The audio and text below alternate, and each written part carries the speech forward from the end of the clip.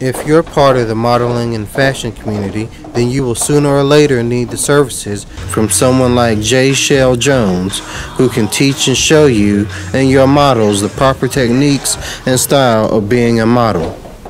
From the walk to the pivot and how to go down a runway, she knows and has experienced it all. Whether you're preparing for a small event, for a church or charity fashion show, help your models look their best and bring them to J. Shell of Jones Girls Inc. Miss Jones especially has a passion for helping curvier girls get into the modeling industry. Do you believe the market's out there for the plus size models? Yes, yes.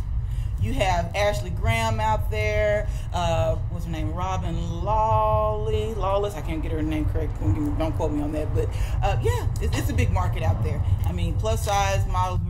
We're, we're starting to get recognized. Do you think the model industry is overly biased?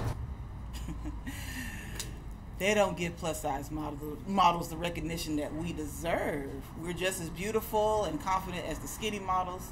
We just have a little bit more more meat on the bones, you know? So, yeah. this is Maurice Hunter with Richland College Media, signing off.